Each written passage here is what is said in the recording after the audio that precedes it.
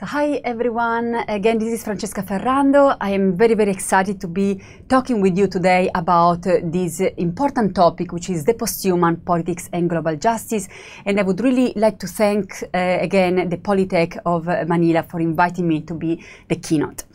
So um, let's uh, go back to our presentation. This is the second part. We already addressed uh, the topic of our era, why our era can be considered posthuman.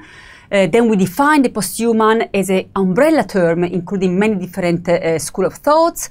And specifically, we went into defining transhumanism and then what transhumanism offered to the notion of politics. In this second part, we're going to address the notion of posthumanism, which is also one of the movements that can be included under the umbrella term of the posthuman. And we're going to define the posthuman in this second part as a post slash humanism and as a post slash anthropocentrism. Um, the third meaning will be addressed in the third part of the conversation, which is uh, posthumanism as a post slash dualism. So, my main argument is that politics in the 21st century must take into account a post-humanist and post-anthropocentric approach to address the topic of justice in a comprehensive and fulfilling way. So at this point is what is posthumanism? Why are we addressing the topic of the posthuman in relation to politics? These are again the three uh, ways to define the posthuman. Um, to make it simple, the posthuman can be defined as a post slash humanism, post slash anthropocentrism, and post slash dualism. Let's start with the first meaning, hmm? post slash humanism. What do we mean by um, going post the notion of humanism? Well, on one side, we can um, say that not every human being has historically been considered human. Many have been considered less than human, the chaos, the non-disciplinable. In the hegemonic narratives of social justice, women, African American descendants, gays and lesbians, differently able people and many others have represented the margins to what would be considered the human. Again, here we, um, we, we take the notion of the human for granted, but when we think about it and when we study it, we realize that historically not every human being has been considered a human being. We can think, for instance, of the, uh, the Conquista, uh, the, the time where uh, I'm in, in New York now, which is in the Americas, and when this land was actually uh, discovered by the Spaniards, and there was all this discussion about the Native Americans. Are they human? Are they non-human? Because if they are human, we cannot enslave them, because they were Christian, and the idea of enslaving another human being did not go with the Christian ideas. But if they are less than human, if they are subhumans, of course, then we can enslave them. So again, think that the human is something we take for granted, but not every human being has been considered as such. More in general, it can be argued that human identity to cure has formed uh, through the construction of the notion of the other. Mm? We always need someone other in order to define the self. Uh, and specifically for the human, the human has been defined in contrast to non-human animals to automata. Mm? I am a human because I'm not a dog. I'm a human because I'm not a robot. Automata, children, women, people of color other than white go back to the Greeks, the notion of anthropos, which actually means human, was defined as different from the gods, uh, the gods or goddesses, they were a polytheistic society, different from non-human animals, and also different from barbarians. And by barbarians, they meant Persians. And Persians had a wonderful culture uh, going on at the time, but they were seen as less than Greek, less than human, hmm? because they were not Greek. Uh, so again, this idea of having to define the self in separation from someone else in a dualistic way. That's why we're going to address later on dualism. Eh? The dualism is a problem. Um, so in a dualistic way, based on opposites such as nature slash culture, female slash male, black slash white, uh, east slash west, colonizer slash colonizer, colonized and able slash disabled and so on. You can go on with this idea of uh, uh, identity being forming through the construction of otherness, others that would be considered less than the self.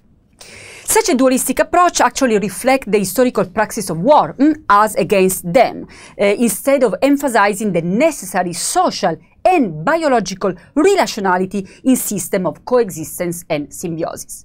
We actually do need others in order to survive. We need others in order to procreate, and we need others in order to actually come into this world. Mm? So again, this necessity of the other is not being uh, taken into consideration when we think of uh, as in separation from others.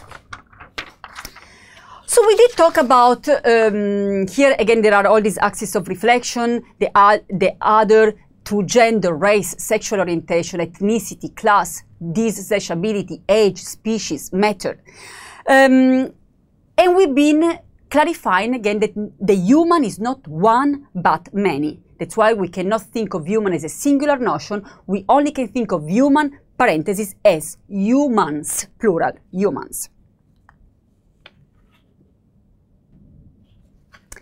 The second way to define posthumanism is post-anthropocentrism. Post-anthropocentrism can be defined through the notion of the Anthropocene that we addressed early on in our first presentation and the issue of speciesism, when the discrimination is not given to other human beings, but other beings that are outside of our own species, of discrimination going outside of the human species. Actually, this again can be traced historically, and the notion of the human has been actually historically posed in a hierarchical scale to the non-human realm, um, which can be traced back to the symbolic structure of the great chain of being. Uh, of Platonic and Aristotelian origins. A little uh, parenthesis open here, rooted in Plato, Aristotle, and the Old Testament, the great chain of being depicted a hierarchical structure of all matter and life starting with, do, with, the, uh, with God. And uh, after God, we had uh, the human. In between, we had angels. At the time, angels and demons were considered actually uh, actual uh, entities. But this idea again that the human was made in the image of God this idea of human exceptionalist. Uh, any documentary you can uh, watch uh, usually start with we the human, the most evolved beings, uh, the most intelligent beings. This idea of being exceptional, of being outside of the sphere of nature, of being culture human representing culture and that's why being superior than other animals. This is, been, uh, this is addressed now as a problem by posthumanism. Uh, why is that a problem? Well, first of all, this species-driven emphasis on the human as an autonomous entity stands on a psychotic perception of the human body as separated not only from other animals, but from planet Earth. And here I would like to add to the conversation the notion of ecology. Uh, ecology comes from ancient Greek, lo logi, logos, the discourse on eco, oikos, home. So uh, actually ecology means the discourse on our home, the place we inhabit, our house. Humans, like any other organism, has evolved and adapted in, or, in accord to their environment. Such a relation has been mutually transformative and can be defined as an intra-action.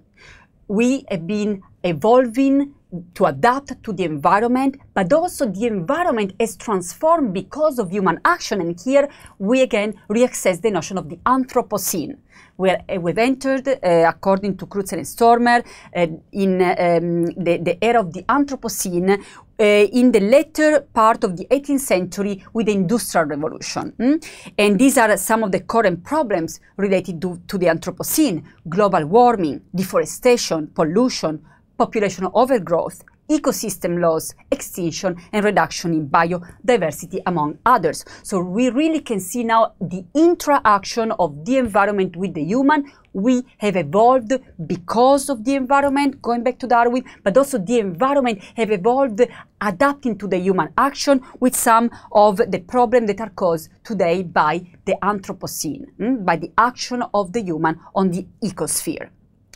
So to summarize, the second part is that if post-slash humanism can be seen as the pluralistic symphony of the human voices who had been silenced in the historical developments of the notion of humanity, think again of all the humans who were not considered humans, now from the 70s on, started again to bring their voice out and say, this does not represent me. I've been not being represented in the historical account of the human. Hmm?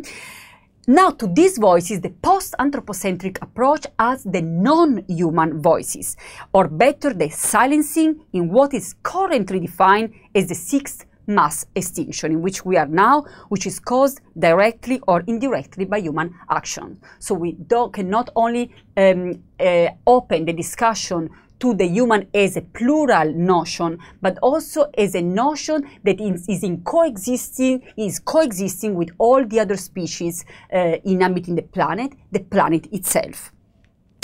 To this, uh, we can say that uh, we address the question, who am I, in conjunction with other related questions, such as what am I matter, and where and when are we. Uh, after talking about ecology and biology, we are going to address the notion of technology also seen not as the other to be uh, feared or to be uh, uh, looking for after, but as part of the human on many levels. Um, so thanks again for your kind attention and we're going to enter the third and last part of my presentation addressing the notion of post-dualism and also of global and local justice.